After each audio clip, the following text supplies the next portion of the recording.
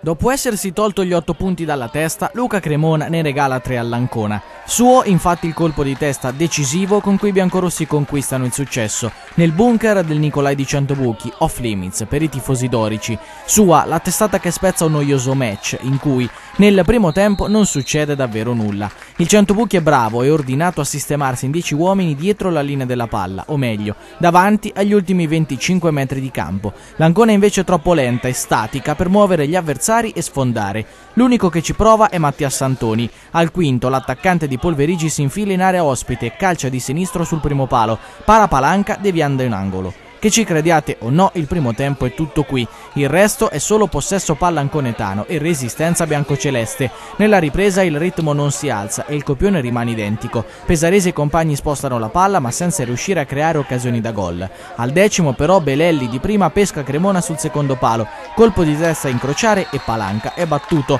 Protesta il 100 buchi per fuori gioco. Due minuti e ancora Mattia Santoni calcia in porta sfiorando il palo di palanca. Al quindicesimo Frenconi scatta sul filo del fuorigioco ma come entra in area dell'Ancona sbaglia l'ultimo controllo. Recchi in uscita bassa lo chiude. Al ventunesimo Garofalo in spaccata arriva un pelo in ritardo su cross di Bertozzini. Fotocopia a parti invertite un giro di lancette più tardi.